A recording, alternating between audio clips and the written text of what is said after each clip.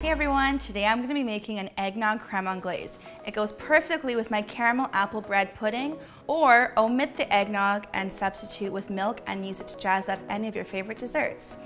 So to start our creme anglaise, we're going to be using equal parts milk. So I've got a cup and a half of milk and a cup and a half of eggnog.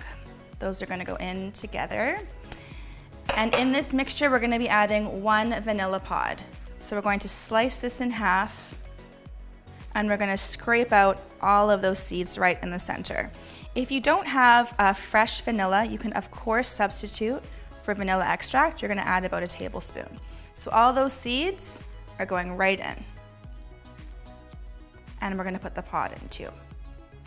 To this, we're gonna be adding a quarter cup of white sugar.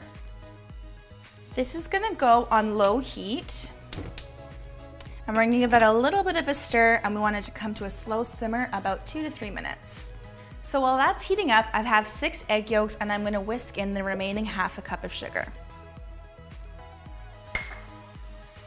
So you wanna whisk this until it stops feeling gritty, and then you'll know all of the sugar is absorbed into those egg yolks.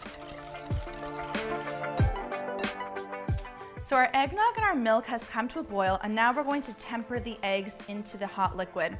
So what we're gonna do is we're gonna add a little bit of this hot liquid into the cold eggs and we wanna do that slowly and gradually so that the eggs don't become scrambled. So that's gonna go in slow and keep on whisking. Once you've got about a third of the hot liquid into the egg yolks, we're gonna pour it back into the saucepan.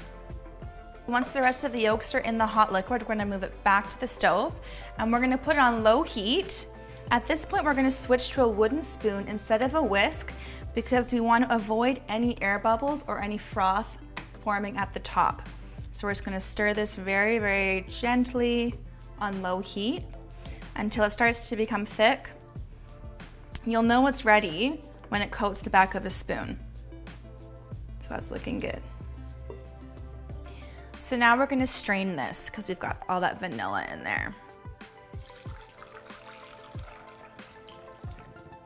So now this is gonna cool down and as soon as it's cold, it's ready to eat. And there you have it. So easy.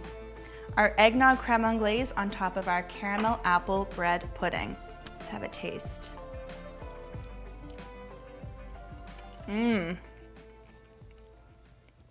It's like Christmas in a bite. You can taste all those nutmeg and cinnamon notes. It's really good. Thanks for watching. See you next time.